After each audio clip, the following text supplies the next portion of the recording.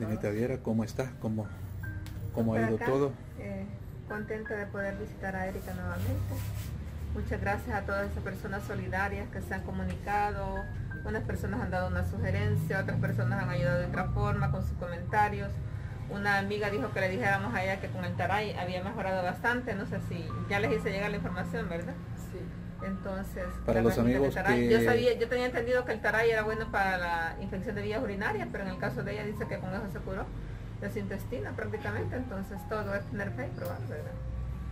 Otras personas han, han dicho que van a contactar al ministro de, de salud, Mm, otras personas que, bueno, que Bueno, toda la, médico, toda la ¿verdad? ayuda es bienvenida, Sí, claro. por supuesto.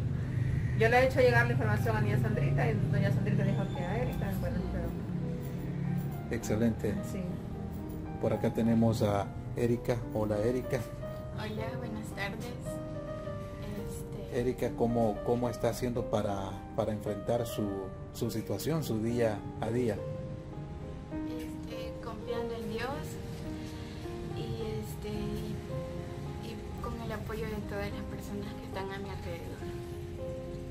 ¿Cómo se siente por las personas que sin conocerla le han tendido la mano y las personas que la conocen de hace mucho tiempo pero que tal vez no veía y que a raíz de esta situación suya se han acercado?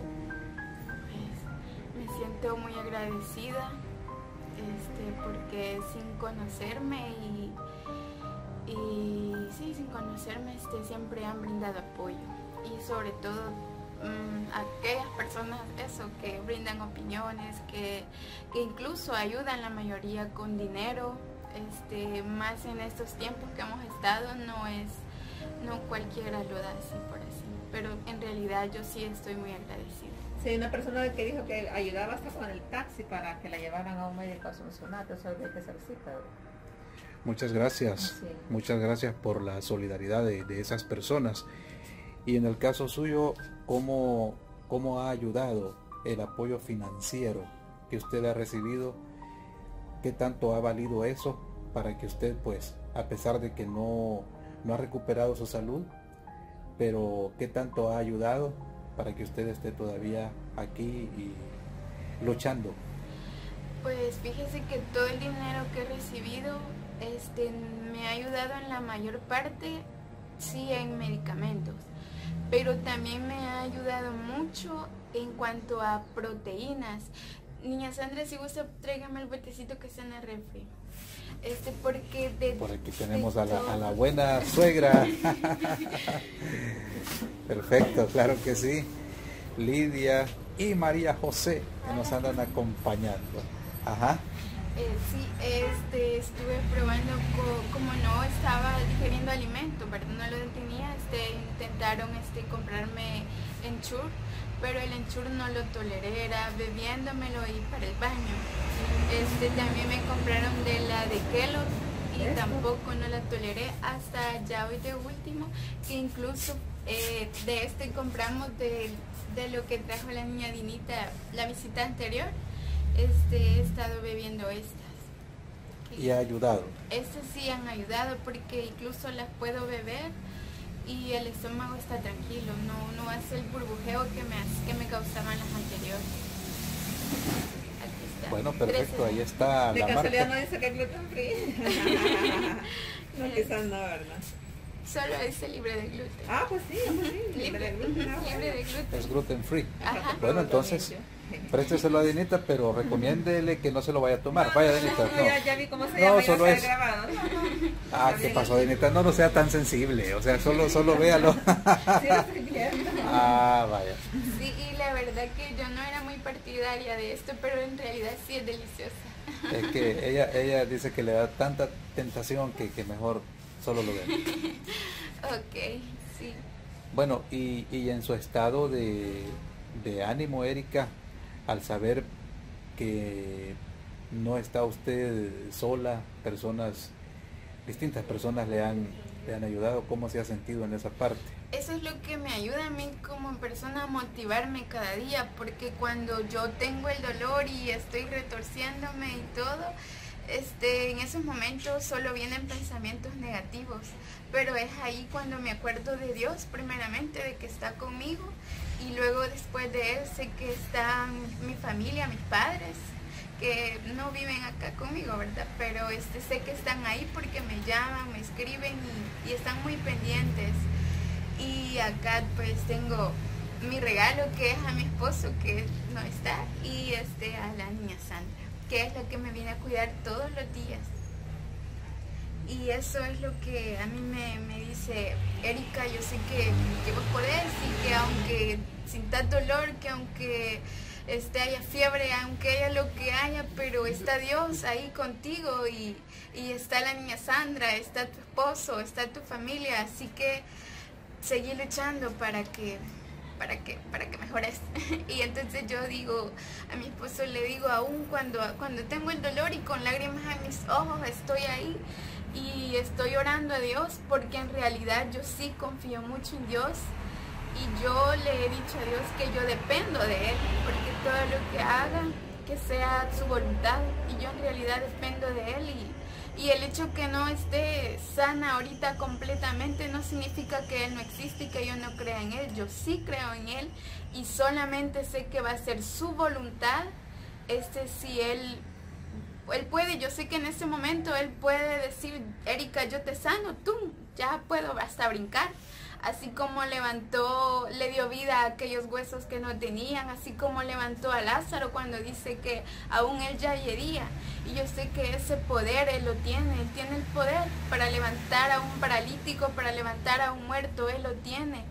Pero el hecho que yo no lo haya recibido ahorita no significa que yo me queje y diga, Señor, ¿por qué te has olvidado de mí? Yo sé que Él está ahí y Él sabe hasta cuándo. E incluso si yo no llegara a sanarme y yo, yo moriría y todo eso, yo le digo a, mi esposo, yo le digo a mi suegra, a mis familias, que ellos no se sientan tristes, que no, que no, porque yo sé para dónde voy. Esa es la, la certeza y la convicción que yo tengo, sé para dónde voy y, y hay que estar feliz. Lo único que he aprendido en esta enfermedad, en esto, estar postrada en una cama, es valorar este es, es valorar lo que es la vida, porque a diario vivimos lo mismo y lo mismo, pero no valoramos hasta que uno está postrado en una cama o en un hospital. Este, uno dice, yo quisiera estar haciendo esto, yo quisiera estar haciendo lo otro. Entonces, justo cuando yo salí del hospital me hice una promesa, que yo iba a disfrutar cada día que Dios me permitiera, no importaba si estuviera bien o estuviera mal, pero aún ahí, ahí con el dolor este, yo sonrío porque mi lema es que aún en medio de lo que sea hay que sonreír. Bueno, perfecto. Excelentes palabras y gran discurso. Le quiero, quiero, quiero comprenderle. Usted dice niña Sandrita me viene a cuidar. Sí, ella me viene a cuidar. Ahora, ¿significa que niña Sandrita no vive aquí? No, yo vivo allá a la vuelta. ¿No vive en esta casa? No, como a una cuadra quizás vivo ya. Entonces todos los días usted deja su, casa, deja su quehacer y usted se viene a estar con, con Erika. Sí, sí, yo me vengo a, cuidarla porque pues sí, de presto nos da sorpresa pues de que ella recae y siempre tenemos que estar a la, a la par de ella viendo que todo camine bien. ¿Y a usted qué la motiva a moverse cada día? O sea, porque usted eh, podría decir, bueno, pero yo ya, ya la cuidé tantos días, entonces ¿por qué no, no viene alguien más? ¿Qué la mueve a, usted a no cansarse y estar siempre a la par de Erika? Mire, eh, lo principal, digamos, es por, porque ella la quiero mucho, la quiero mucho y, este, y me gusta estar a la par de ella, porque yo me siento bien, pues y otra es por mi hijo, porque él, está, él se preocupa por, ella y a cada rato está, mami, mami, ¿qué tal está? Mami, ¿qué tal está? Y así, entonces yo ya le digo, no, no, tranquilo, porque él no trabaja, él no está tranquilo, pues, de pensar que ella le, esté, pues, eh, con algún síntoma, algo. Tengo entendido que él ha salido a trabajar. Sí. Hace poco encontró empleo. Sí, hace poco. Eh. Y, pero usted eh, dice, él no está del todo tranquilo en su trabajo porque está pensando. Sí, si es la hora de almuerzo, él nos marca. Él- cuando él va de camino en la mañana, él nos marca. Y, o sea, porque él está pendiente de ella y, y yo, yo pues eh, eh, también me, me siento bien estar al lado de ella, pues porque sus papás no están aquí. Y si yo puedo, pues aquí estoy. Usted está.